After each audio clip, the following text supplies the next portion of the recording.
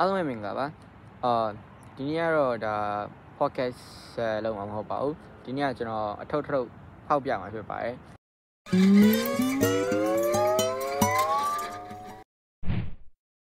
အာလာမယ့်ဒီ November 20ဆိုရင်ကမ္ဘာဖလားပြိုင်ပွဲလာပြီပေါ့နော်ကာတာ2020 World Cup လာပြီပေါ့ဆိုတော့ငငယ်တုန်းကဗျာတိလားအဲကျွန်တော်လူတွေရှိမှာပေါ့လိုလဲဆိုအာကသားကြံနေဖတ်တဲ့ဆိုရင်သိလိမ့်မယ် ဒီဘောလုံးပြိုင်ပွဲတွေမစခင်မှာဒီပြိုင်ပွဲတွေရဲ့အကြောင်းတို့ဒီပြိုင်ပွဲမှာဝင်ကစားမယ့်အတင်းတွေရဲ့အကြောင်းတို့ပြီးတော့ဘယ်ကစားသမားတွေကတော့ဘယ်လိုဆွမ်းဆောင်ရည်ရှိရဲဘယ်လိုကစားသမားတွေကို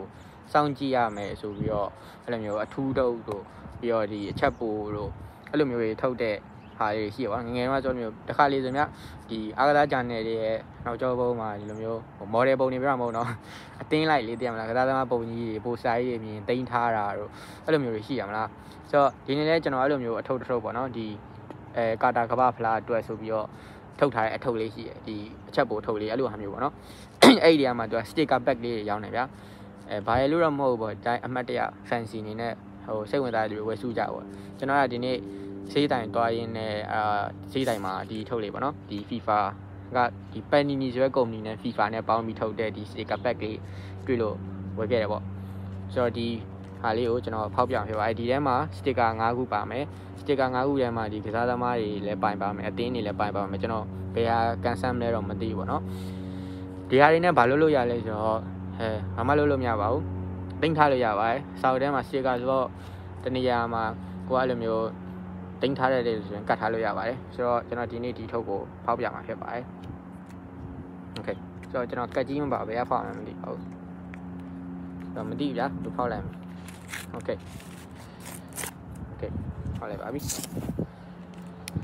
အာโอเคဒီမှာကျွန်တော်တိရကစားသမားတွေရောမတိရကစားသမားတွေရောပါကောင်းပါနိုင်ပါတယ်ဆိုတော့ပထမဦးဆုံးတော့မပြသေးဘူးနော်ဟိုသူကမပြသေးဘူး ပထမဦးဆုံးကတော့ဒါဘောလုံးသမားလည်းမဟုတ်ပါဘူးဘောလုံးတင်လည်းမဟုတ်ပါဘူးကဘာဖလားပြိုင်ပွဲမှာကန်မဲ့အော် Stadium 974ဖြစ်ပါတယ်ဒီကွင်းကိုကျွန်တော်နှိပါတယ်ဘာလို့လဲဆိုတော့ဒီ2022နှစ်စပေါ့နော်ဒီ FIFA Arab Cup ဆိုပြီး Arab နိုင်ငံများဖလားတိုင်ပွဲမှာအဲကာတာမှာလုပ်တယ်အဲ့ပွဲအဲ့တိုင်ပွဲမှာဒီကွင်းနေမှာကစားပါတယ်ဒီကွင်းမှာကစားခဲ့ပါတယ်ဒီ Stadium 974ကသူကဒီ အဲ့ကွင်းရရွှေ့ပြောင်းလို့ရရဗျာဒီလားရွှေ့ပြောင်းလို့ရတယ်ဘယ်လိုမျိုးလဲဆိုတော့ဥပမာသူကဒီတင်မောပေါ်မှာတုံးတဲ့ကွန်တိန်နာတွေကိုတုံးပြီးတော့ဒီကွင်းကိုစောက်ထားတာပေါ့ဆိုတော့ဒီကွင်းကသူကဥပမာနေရာတစ်ခုခုကို adjust လုပ်လို့ရတယ်သူ့ရဲ့ကွင်းက adjust လုပ်လို့ရတယ်ပေါ့နော်ဆိုတော့ဒါကိုကျွန်တော် sorry notification တွေဝင်နေပါတယ်ဆိုတော့ဒီဟာကဟုတ်ပါကျွန်တော်အခုဒီဟာအခုမှစဖောက်လိုက်တာပေါ့နော်အခုမှစဖောက်လိုက်တယ်အခု player တော့မပေါက်သေးပါဘူး team တွေလည်းမပေါက်သေးပါဘူး stadium စပေါက်ပါတယ် stadium 974ပေါ့နော်ခုနဒီတင်မော container တွေနဲ့စောက်ထားတဲ့ adjust လုပ်လို့ရတဲ့ခွင့်ပါဒါဒီကဘာလုံးမှာဒီလိုမျိုးတကွင်းကတကွင်းပဲရှိပါတယ်ဒီကွင်းမှာ974ပေါ့နော်ဆိုတော့ဒါ sticker 1ပါဆိုတော့နောက်ထပ်တစ်ခုကကျွန်တော်ကြည့်ပါနော်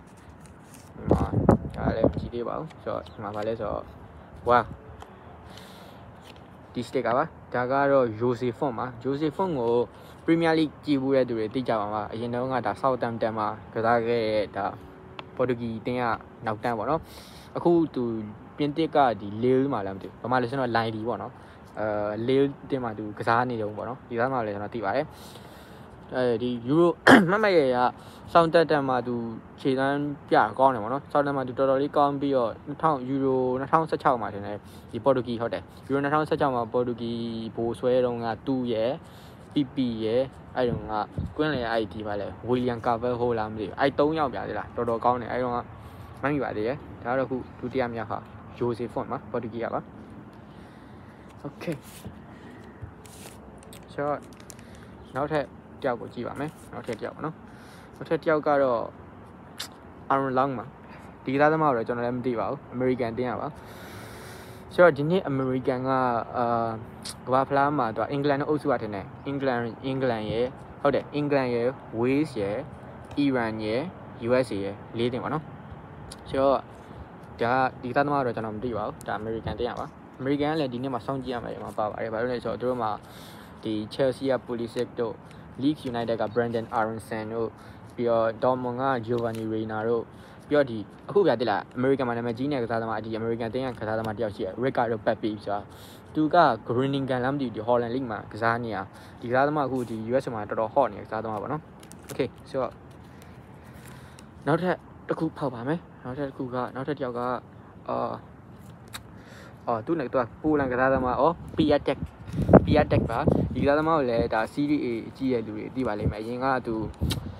ဂျီနိုဝါလားဟုတ်တယ်ဂျီနိုဝါမှာကစားပြီးတော့သူဂျီနိုဝါမှာကောင်းလို့ဆိုပြီးတော့သူ AC Milan ခေါ်တာ AC Milan ခေါ်ပြီးတော့ဒီပထမဆုံး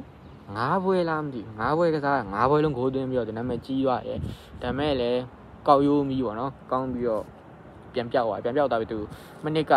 ဒီ Bundesliga မှာလားမသိဟုတ်တယ် Bundesliga မှာ Hertha Berlin မှာလည်းသူကစားသေးတယ်အခုတော့သူဘယ်မှာကစားနေလဲကျွန်တော်မသိပါဘူး ဟိုကမှထင်တယ်ဆလန်ဒီတာနာလားမသိဘူးစီးရီမှာပြန်ကစားနေတယ်ထင်တယ်ဒီကမှာပိုလန်တိုက်စစ်မှုပါပီယက်တက်ပေါ့နော်ရှေ့ရနာမည်ကတော့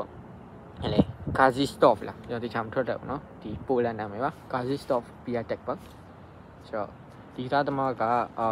အရက်က1.83ကျော်1.83မီတာဆိုတော့တော်တော်ရှိတယ်ဗျရရှိပါတယ်ဟုတ်ပါတယ်ဒါကျွန်တော်ရဲ့နောက်ဆုံးကပ်ပါခုနောက်ဆုံးကပ်ကိုထုတ်ခဲ့ပါတယ် နောက်ဆုံးကပ်ကတော့ Jorginho Vinyl တမှာကျွန်တော်ကန်ဆိုးတာပါပြီအမေကျွန်တော်တင်ဒီကောင်ကအခု Roma မှာတော့ Roma မှာအခုသူ injury ဖြစ်နေရယ်ဒဏ်ရာရနေရယ်ဆိုတော့ဒီကောင်က World Cup မှာပါလာမှာမဟုတ်လောက်ဘူးဗျဒဏ်ရာရနေတော်တော်နားမှာသူ့ဘာလို့ဒီထဲမှာကျွန်တော်တို့ထည့်ပေးလိုက်လဲမသိဘူးကျွန်တော်ဂျင်းမိရထင်ပါတယ်ကံမကောင်းပါဘူး Jorginho Vinyl တမှာဒီကောင်က အာအရင်က PSV မှာစကားရတယ် PSV ကနေ Newcastle ကိုရောက်တယ် Newcastle ကနေသူ Liverpool မှာတော်တော်ကောင်းတယ်ပေါ့နော်ဒီဘကိုးအသင်းမှာပေါ့နော်ဘကိုးအသင်းမှာတော်တော်ကောင်းပြီးတော့သူ PSG ရောက်သွားပြီးတော့မှပွဲမကန်ရဘူးအခုဒီနေ့ Roma ရောက်သွားပြီပေါ့နော် Roma မှာလည်းသူတပွဲလားပဲကစားပြီးတော့ injury ဖြစ်သွားပြီအခုတော်တော်နားနေရပါတယ်ဆိုတော့ဒီကောင်လည်းအဲအရင်တော့ကစားသမားကောင်းပါနော်အခုတော့သူအသက်ကြီးလာပြီးတော့အခုတန်ရရနေပါတယ်ဒါပေမဲ့ ဘလို့ဒီကောင်ကျွန်တော်ထည့်ပေးလဲနားမယ်ထားပါတော့ဒီကစားသမားတွေဆိုပါဆို Piatek တို့ Jose Font တို့ဒီကောင်ကြီးကတကယ်ပါမဲ့သူက line up ဝင်မဲ့ကစားသမားတွေဒါပေမဲ့ဝိုင်းနေတဲ့ညို့ဘာကိစ္စထည့်ပေးလိုက်တော့ဝိုင်းနေတဲ့မကန်ဘူးကြာကြည့်လားဟာကျွန်တော်တို့ဒီကောင်ကြီးလူလေလောက်တာပဲဆိုတော့ခုနပြောသွားတဲ့ဒီ stadium အကြောင်းကိုတော့အာ stadium 97ဖုန်းနော်ဒီ stadium ကစိတ်ဝင်စားကြကောင်းပါတယ်အော်ဒီခုနပြောတော့တင်မောကွန်တိန်နာနဲ့သူစောက်ထားတယ် သူဒီ adjust လုပ်လို့ရပါတော့ကျွန်တော်ခုနပြောရလို့ Google မှာတကယ်လို့စိတ်ဝင်စားကျွန်တော် Google မှာတော့ရှာဖတ်လို့ရပါတယ် Stadium 974ဆိုတော့ဒီကောင်ကတော့ကျွန်တော်မသိရခုန player ပေါ့နော် Aaron Long ဆိုတော့ US ရပါအဲသူက defensive ဗျ defensive နောက်တန်းပေါ့နော်ဆိုတော့ okay ဆိုတော့ဒါကအခုကျွန်တော်ဝယ်လာတဲ့ pack ထဲက sticker လေးတွေပါဒီထုတ်ထည့်ရပါနော်ကျွန်တော်အခုမှဖောက်တာပါ ဒါကဝယ်လာတာမနေ့ကဝယ်လာမနေ့ကကျွန်တော်အဲ Wall Green မှာဒီမှာတော့ Wall Green Pharmacy ခေါ်ပါပေါ့နော် Pharmacy ဆိုမဲ့အကုန်ရရဗျာဆိုတော့အဲ့ရနေဒါလေးတွေ့လို့ဝယ်လာတာပါဆိုတော့ဒါ9ခုပေါက်ပါတယ်ဒီ9ခုကိုအဲတင်ထားပါမယ်ဆိုတော့ဒီနေ့ World Cup ကနိုဝင်ဘာ20ပေါ့နော်20ကာတာနဲ့ Ecuador လားမသိဘူးဟုတ်တယ်ကာတာနဲ့ Ecuador နဲ့စကန်မှာထင်ပါတယ်ဆိုတော့ကျွန်တော်တကယ်ချင်းဒီဗီဒီယိုကြည့်နေတယ်မှာ volume crazy တွေရှိပါလိမ့်မယ် ဒီနေ့ World Cup မှာဘယ်တင်းကိုအပေးမလဲဆိုတာလည်းပြောခဲ့ပါကျွန်တော်ကတော့ဒီနေ့ကတော့အာဂျင်တီးနားကိုအာဂျင်တီးနားဘက်ကနေအာဂျင်တီးနားကိုအားပေးမှာပေါ့နော်ဘာလို့လဲဆိုတော့ကျွန်တော် Messi fan ပါ Messi fan ဆိုပေမဲ့ Messi ရော Ronaldo ရောအားပေးရပါဒါပေမဲ့ Messi ကိုပို့ပြီးတော့ prefer ဖြစ်တယ်ပေါ့နော်ဆိုတော့ Messi ရော Ronaldo ရောအတွက်ကဒီနေ့ကသူတို့အတွက်နောက်ဆုံးစိတ်ကြီးနှစ်ယောက်ရဲ့နောက်ဆုံးကမ္ဘာဖလားပေါ့နော်ဆိုတော့သူတို့နှစ်ယောက်ထဲကတယောက်ကိုအာ ဒီနေ့မှာသူတို့အနည်းဆုံးတော့ semi final လောက်ဖြစ်ဖြစ်ရောက်စေချင်ပါတယ်ဒါပေမဲ့ကျွန်တော် Messi ကို prefer ဖြစ်တဲ့အတွက်အာဂျင်တီးနားကိုဒီနေ့အားပေးမှာဖြစ်ပါတယ်ဆိုတော့ဒီနေ့ဗီဒီယိုကြည့်ပေးတာအားလုံးကျေးဇူးတင်ပါတယ်အခု comment မှာဘယ်ကစားဘယ်အတင်းကိုအားပေးမလဲဆိုတော့ရေးချင်လည်းရေးခဲ့ပါနော်မရေးချင်လည်းရပါတယ်ဟဲ့ဟဲ့ဆိုတော့ကျေးဇူးတင်ပါတယ်လောက်ပါတယ်ဘိုင်ဘိုင်